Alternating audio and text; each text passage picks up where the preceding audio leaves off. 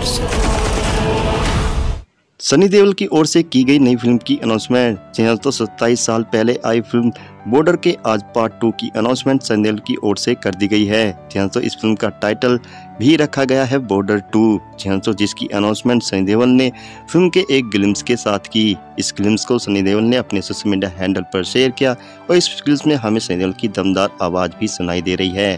बात करें दोस्तों सनी देवल एक बार फिर से हमें फौजी के किरदार में नज़र आने वाले हैं।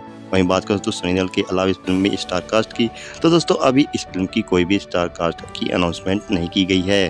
फ़िल्म का निर्देशन अनुराग सिंह के द्वारा किया जाएगा। इस फ़िल्म को प्रोड्यूस किया जा रहा है भूषण कुमार कृष्ण कुमार, जेवी दत्ता और निधि दत्ता के द्वारा। वहीं बात करूँ इस फ़िल्म की रिलीज़ डेट के बारे में तो दोस्तों अभी इस फ़िल्म की कोई भी रिलीज़ डेट अनाउंस नहीं की गई है। लेकिन जैसे इस फ़िल्म से जुड़ी कोई भी और बड़ी अपडेट सामने आएगी, मैं आपको तुरंत बताऊँगा। तो दोस्तों आप इस फ़िल्म के लिए कितने ज़्यादा एक्साइटेड हो? आप मुझे कमेंट सेक्शन में कमेंट कर ज़रूर बताएँ। साथ ही वीडियो को लाइक और चैनल को सब्सक्राइब ज़रूर करें। मिलता हूँ एक और ऐसी ही लेटेस्ट अपडेट के साथ।